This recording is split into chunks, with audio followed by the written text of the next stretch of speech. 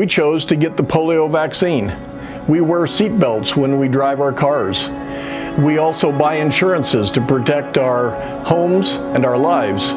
And so this vaccine is a simple and inexpensive way to provide protection and coverage in our lives and for each other.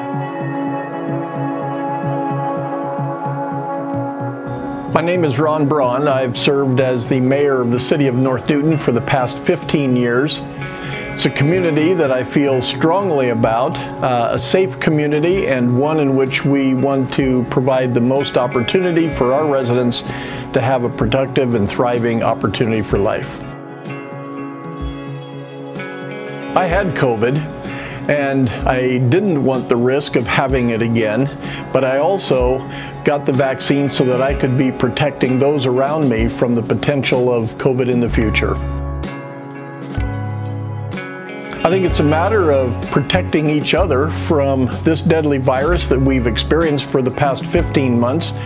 And we don't know with the new variants that are coming uh, what their effect will be. And the surges that we have experienced are not finished. Well, I look forward to the day when masks are not the uh, prerequisite, where we can move about freely, where we can continue to uh, enjoy life without mandates. And so I think whatever we can do in the meantime uh, will get us to that goal quicker.